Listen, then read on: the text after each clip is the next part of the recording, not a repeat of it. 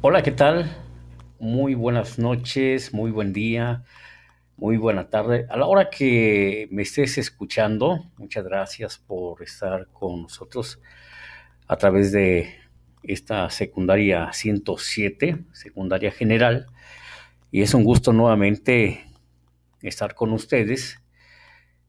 Te hago llegar este audio por WhatsApp o por la red de redes para que te des una idea de qué trata la actividad. Estamos en la actividad número 5, el cual vamos a trabajar las tres leyes de la robótica. Las tres leyes de la robótica de Isaac Asimov. El aprendizaje esperado es los alumnos comprenderán la importancia de las tres leyes de la robótica aplicadas por Isaac Asimov a través de algunos ejemplos prácticos que vas a visualizar en video y de igual forma los estoy convirtiendo a audio para enviártelos por WhatsApp en su momento si no tuvieras la oportunidad de ingresar a internet. Si no tienes internet en tu casa, para que no gastes datos, simplemente se te envían por WhatsApp para que los escuches. Es lo mismo lo que viene en el video y solamente vas a escuchar el audio. Entre los materiales, por favor, tu libreta gris, tu pluma, si tienes computador o celular, hay que utilizarlo. Y de igual forma, tu servicio de internet, si tuviera. Si no, por WhatsApp, por favor, repito nuevamente, no queremos hacerte gastar. Hay que trabajar en tu libreta gris, anotar las actividades, por favor. Bien, voy directamente al punto número 2, el cual vas a contestar las siguientes preguntas sin consultar ningún texto, video, internet, para nada solamente lo que tú sabes, con tus propias palabras. Escribe qué es lo que tienes de conocimiento acerca de las tres leyes de la robótica. Y vas a contestar lo siguiente. ¿Por qué un robot no hará daño a un ser humano? ¿Por qué no lo daña? ¿Por qué un robot obedece las órdenes de un ser humano? lo que tú sepas, lo que conozcas, tus ideas, por favor, plásmalas en este segundo punto, por favor. Es importante que te abras al conocimiento y que escarbes a través de tu en tu cerebro lo que tengas de conocimiento para que te conectes con la actividad. Imagínate que tienes un robot enfrente y te preguntes tú, ¿me va a hacer daño? ¿Qué intenciones tendrá? Entonces hay tres leyes que te están protegiendo. Y te estoy poniendo en el inciso eh, B. Dice a continuación visualiza o escucha los materiales que se te proporcionan sobre las leyes de la robótica de Isaac Asimov. Vas a obtener un esquema general en tu libreta gris explicando cada ley. Ponle creatividad, Puedes dibujar, buscar recortes en el periódico o en alguna revista que tengas, coloca las imágenes, pero realiza ese esquema, simulando, escenificando esas tres leyes de la robótica que son muy importantes. Porque muchas veces pensamos que los robots nos van a hacer daño y que van a pensar por nosotros y que nos van a suplir en el trabajo. Yo nomás te digo, un robot lo programas. Un robot le das las órdenes tú. Te invito a que escuches el siguiente audio. Por favor, voy a proyectar el video para que en su momento te des la idea de qué trata. Adelante. Hola, me gustaría compartir contigo las tres leyes de la robótica y explicarte el propósito que tienen. 1. Un robot no hará daño a un ser humano o por inacción permitirá que un ser humano sufra daño. 2. Un robot debe cumplir las órdenes dadas por los seres humanos, a excepción de aquellas que entrasen en conflicto con la primera ley. 3. Un robot debe proteger su propia existencia en la medida en que esta protección no entre en conflicto con la primera o la segunda ley.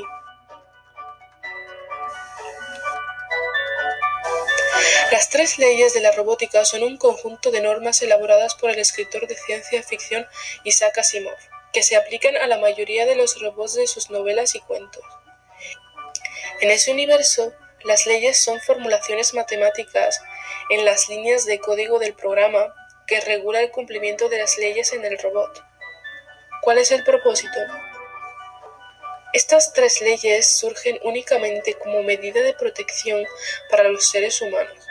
Según el propio Asimov, la concepción de las leyes de la robótica quería contrarrestar un supuesto complejo de Frankenstein, es decir, un temor que el ser humano desarrollaría frente a unas máquinas que hipotéticamente pudieran rebelarse y alzarse contra sus creadores. De intentar siquiera desobedecer una de las leyes, el cerebro positrónico del robot resultaría dañado irreversiblemente y el robot moriría. A un primer nivel no presenta ningún problema dotar a los robots con tales leyes. A fin de cuentas, son máquinas creadas por el hombre para su ayuda en diversas tareas. La complejidad reside en que el robot pueda distinguir cuáles son todas las situaciones que abarcan las tres leyes, o poder deducirlas en el momento. Las tres leyes de la robótica representan el código moral del robot. Un robot va a actuar siempre bajo los imperativos de sus tres leyes. A todos los efectos, un robot se comportará como un ser moralmente correcto. Sin embargo, fácilmente aparece la duda, ¿es posible que un robot dañe a un ser humano? La mayor parte de las historias de robots de Asimov se basan en situaciones en las que, a pesar de las tres leyes, podríamos responder a las anteriores preguntas con un sí.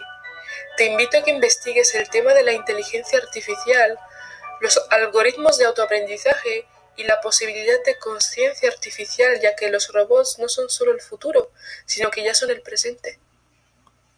Muy bien, muy bien.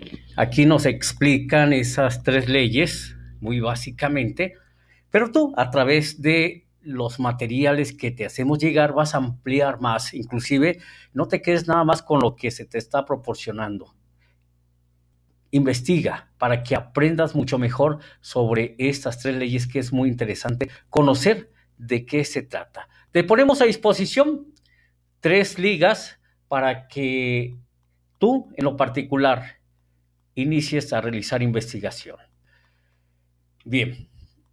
En el inciso C, escribe con tus palabras en tu libreta gris lo que te deja de aprendizaje las tres leyes de la robótica de Isaac Asimov y posteriormente vas a contestar tu evaluación, tu autoevaluación de autoaprendizaje. Y dice así, vas a contestar las preguntas en tu libreta y te dice, ¿un robot por sí solo puede funcionar? ¿Quién le da vida a un robot? puede convivir un robot con un ser humano? ¿Por qué es importante programar a un robot?